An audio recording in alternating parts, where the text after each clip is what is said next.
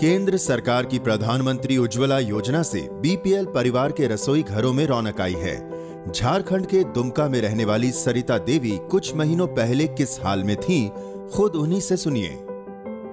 छः महीना के पहले मतलब धुआँ काठी से बना रहे थे खाना तो अभी छः महीना पहले से मतलब बना रहे थे।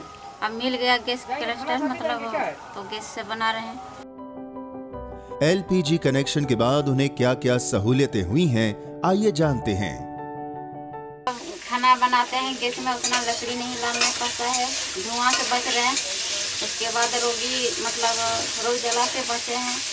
जल्दी बच्चा को खाना बना के खिलाते हैं। टाइम से जाते हैं स्कूल बच्चा सब। यही सब। इन महिलाओं को अब धुएँ में खाना बनाने की मजबूरी नहीं रही और समय का सही इस्तेमाल भी हो रहा है।